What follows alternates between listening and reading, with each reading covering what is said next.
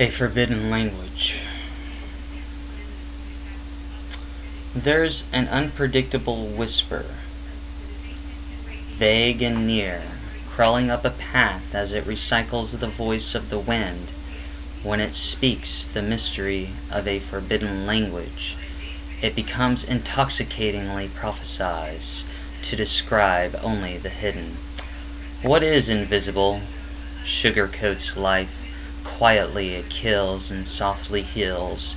Humanity is consumed with worms and tainted by their germs, becoming the victim of their decisions, burned at the stake for their spiritualism.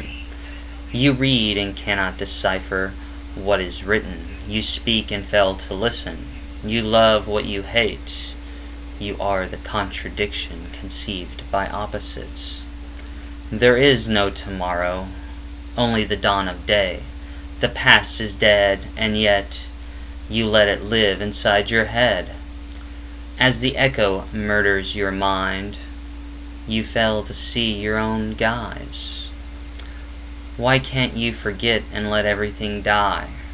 Inside the void of yesterday, instead, you create the prison, losing the key because you fail to perceive.